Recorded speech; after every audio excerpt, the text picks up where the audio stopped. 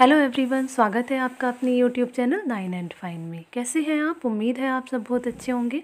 Friends आज की इस वीडियो में हम बात करेंगे कि प्रेगनेंसी में अपने बच्चे का वज़न गर्भ में कैसे बढ़ाएँ, जिससे कि आपकी नॉर्मल डिलीवरी में कोई कॉम्प्लिकेशंस ना आए। तो इस वीडियो में हम ऐसे पाँच सुपर फूड्स के बारे में बात करेंगे, जो कि बच्चे का वज़न तेज़ी से बढ़ाते हैं।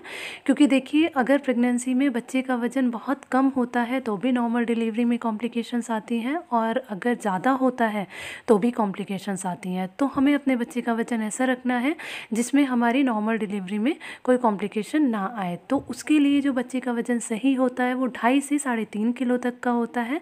तो जब हमारे बच्चे का वज़न बहुत कम होता है तो हमें डॉक्टर ऐसा सजेस्ट करते हैं, कंसल्ट करते हैं कि आप अपनी हेल्दी डाइट लीजिए अच्छा खान पीन रखिए, जिससे कि आपके बेबी का वज़न तेज़ी से बढ़े। सो so फ्रेंड्स, इस वीडियो में हम वही सुपर फूड्स के बारे में बात करेंगे, जो कि बच्चे का वज़न तेज़ी से बढ़ाएँगे। तो वीडियो काफ़ी इंपॉर्टेंट होने वाला है for every pregnant women. Video को बिना स्किप करे लास्ट तक देखना।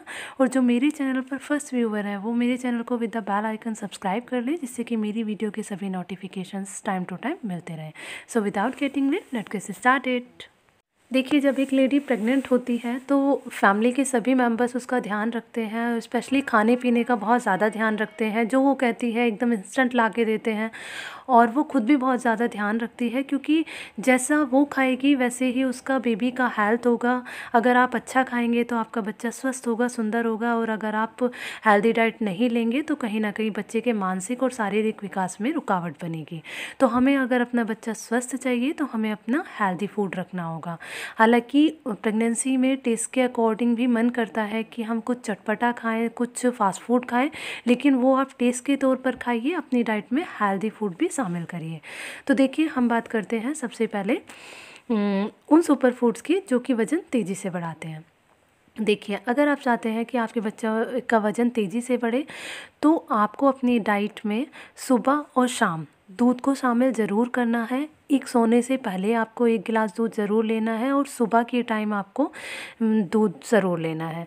क्योंकि दूध जो है वो बच्चे को कैल्शियम की कमी की को पूरी करता है, आपकी बॉडी में भी कैल्शियम की कमी नहीं रहने देता और बच्चे की हड्डियों को मज़बूत रखता है, जो कि बच्चे के शारीरिक विकास को पूरा करता है। नंबर दो है पनीर, दही और अंडा। पनीर, दही और अंडे में पूरा प्रोटीन में पाया जाता है तो ये बच्चे के विकास के लिए बहुत अच्छा होता है और अगर आप अपनी डाइट में अंडा, पनीर और दही को शामिल करते हैं तो बच्चे का वज़न बहुत तेज़ी से बढ़ता है। आप पनीर किसी भी वे में खाइए, चाहे आप सब्ज़ी खाएँ, चाहे आप सैलड के उसमें खाएँ वे में, लेकिन आपको पनीर ज़रूर खाना है। साथ में आप बॉयल्ड एग ज़रूर लें। डेली आपको दो बॉयल्ड एग लेने हैं, चाहे मॉर्निंग में आप अपने ब्रेकफास्ट में ले लें, चाहे आप उनको सब्ज़ी बना कर ले लें, किसी भी वे में लें, लेकिन आपको एग ज़रूर खाना है। नेक्स्ट आता है फ्रूट्स। अगर आप फ्रूट्स खाते हैं, देखिए, जो अगर आप फ्रूट्स खाते हैं तो फ्रूट्स में फ़ाइबर बहुत ज़्यादा होता है। अगर आप जूस पीते हैं, उसमें इतना फ़ाइबर नहीं होता। और डॉक्टर्स भी ऐसा ही सजेस्ट करते हैं कि प्रेगनेंसी में अगर आप जूस की जगह फल लेंगे तो वो ज़्यादा बेटर होगा।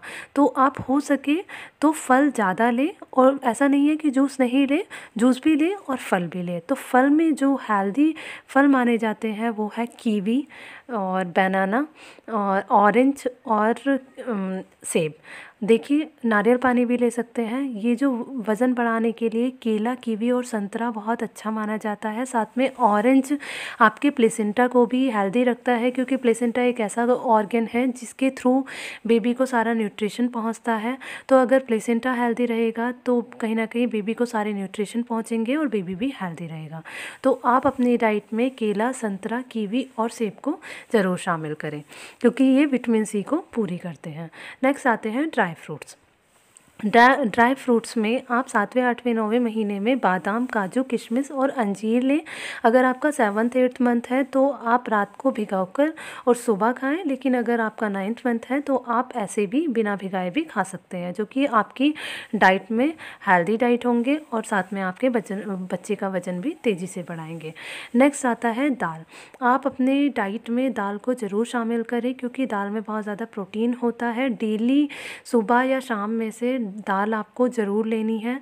चाहे आप दाल को बहुत ही लिक्विड फॉर्म में लें या फिर एक सब्ज़ी के फॉर्म में लें रोटी के साथ, लेकिन आपको दाल अपनी डाइट में ज़रूर शामिल करनी है। दलिया और सोयाबीन। दलिया और सोयाबीन में भी बहुत प्रोटीन एंड विटामिन होते हैं, जो कि भरपूर विटामिन से भरी हुई हैं तो इससे आप अपनी डाइट में दलिया और सोयाबीन भी ज़रूर शामिल करें।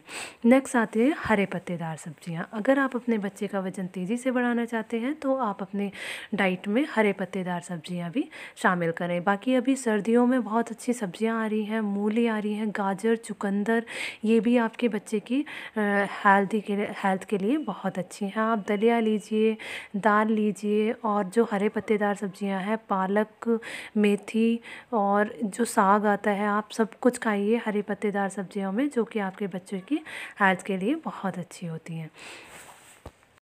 क्योंकि देखिए, जैसा आप खाते हैं, वैसा ही आपका बच्चा हेल्दी होगा। अगर आप पुअर डाइट लेंगे अनहेल्दी डाइट लेंगे फास्ट फ़ूड पर ज़्यादा जाएँगे तो कहीं ना कहीं बच्चे के शारीरिक और मानसिक विकास पर फ़र्क पड़ेगा और कोई माँ ऐसा नहीं चाहती कि उसके बच्चे के शारीरिक या मानसिक विकास में रुकावट हो।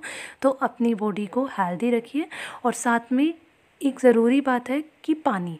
पानी भी आपकी बॉडी को बहुत ज़रूरी होता है, बच्चे की हेल्थ के लिए ज़रूरी होता है, क्योंकि जिस एमनियोटिक फ्लड में बच्चा रहता है, अगर वही पानी की कमी बच्चे में रह जाएगी तो कहीं ना कहीं नॉर्मल डिलीवरी में कॉम्प्लिकेशंस आएँगी और बच्चे के शारीरिक विकास में रुकावट होगी।